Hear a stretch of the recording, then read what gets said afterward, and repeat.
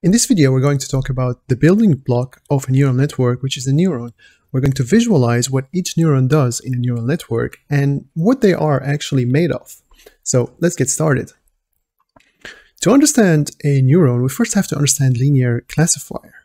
If we were, for example, trying to classify apples and oranges based on their color and their size, what a linear classifier would do is simply draw a line on this plane, separating each label based on which side of the line it is on. So basically everything above this line would be an orange and everything below this line would be an apple.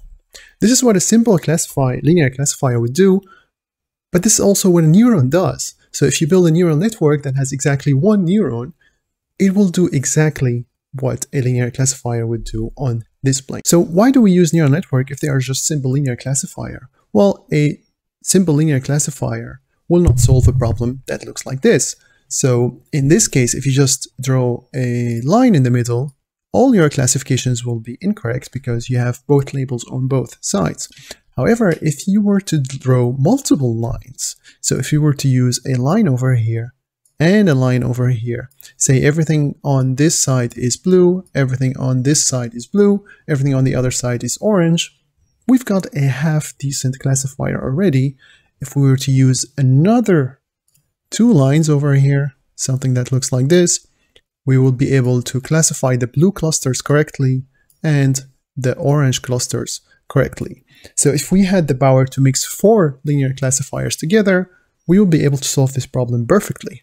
However, a linear classifier would actually stretch all over this plane, and that will kind of ruin our classification because we've got the wrong label on the side, and that's where activation function kicks in. The activation function's main job is to focus the line exactly on the area that we need it. It makes sure that it does not stretch all over here, making a misclassification.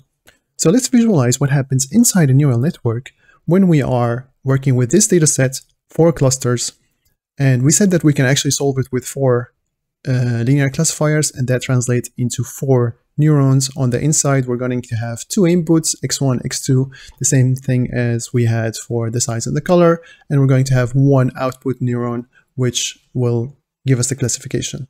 So when we hit this play button, the neural network will be trained for us, and we will be able to see what's going on inside each neuron and what does it contribute to the neural network.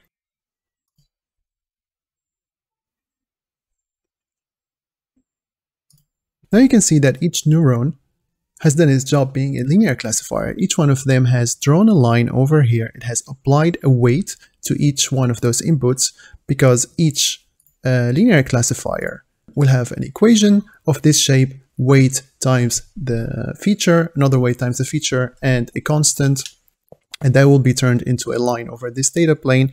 The activation function is making sure that our lines do not stretch too much, ruining our classification. If we focus on one neuron, you will see that it's the whole line. However, in this output neuron, you can see it visualized as being a portion of the original line that was over here in this neuron, which is pretty awesome.